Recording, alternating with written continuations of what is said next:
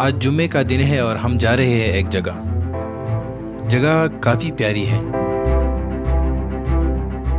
कालाकोट से आगे आती है कंदील। नाम तो सुना होगा। हम वहाँ पे अफ्तारी के लिए जा रहे हैं। अफ्तारी के लिए भी जा रहे हैं और एक छोटा सा और भी काम है।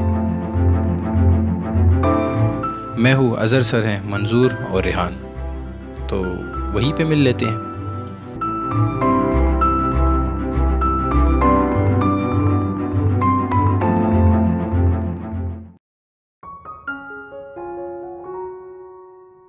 यही कंदील में हमारे कुछ दोस्त और सीनियर हैं। उनके साथ मिलके अफ्तारी का सामान इकट्ठा किया और चलते बने।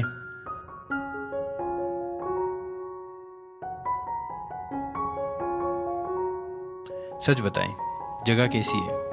प्यारी है ना?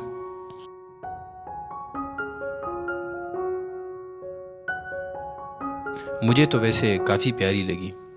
हाइट भी है और व्यू भी।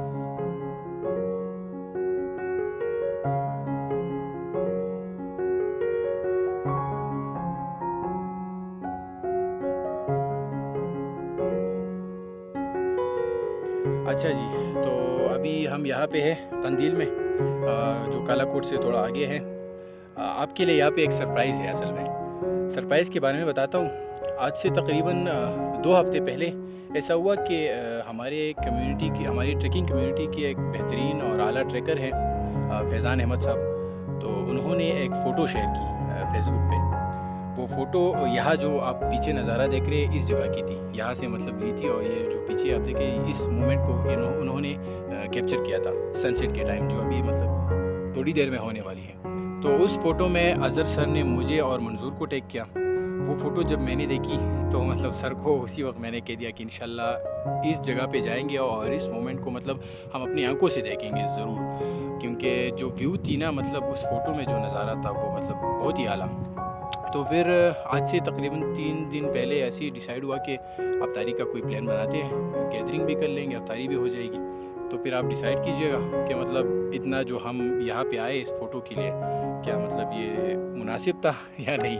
तो फिर आप हमें बताइए इन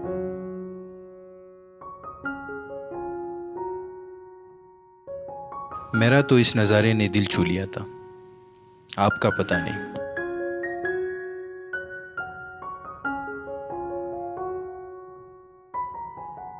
नज़ारा जितना एंजॉय कर सकते थे, किया, और फिर अफ्तारी की तैयारियों में लग गए।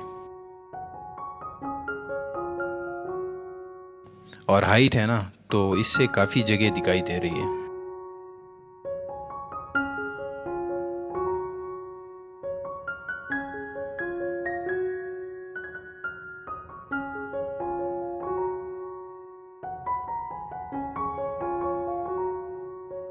और फिर इस दिलकश नज़ारे के सामने सुकून से अफ्तारी की।